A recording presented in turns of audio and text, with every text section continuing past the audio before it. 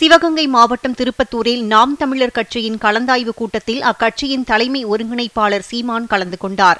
தொடர்ந்து செய்தியாளர்களிடம் பேசிய அவர் ஒரே நாடு ஒரே தேர்தல் என்பது சாத்தியமற்ற ஒன்று எனவும் மக்களை திசை திருப்புவதற்காக லட்டு பிரச்சனையும் ஒரே நாடு ஒரே தேர்தல் பிரச்சனையும் எழுப்பப்பட்டுள்ளது என தெரிவித்தார். மேலும் அமெரிக்க சீன நிறுவனங்கள் இந்தியா மீது பொருளாதார படையெடுப்பை மேற்கொண்டுள்ளதாகவும் இதனால் இந்தியாவிற்கு பெரிய பாதிப்பு ஏற்பட்டுள்ளதாகவும் தெரிவித்தார்.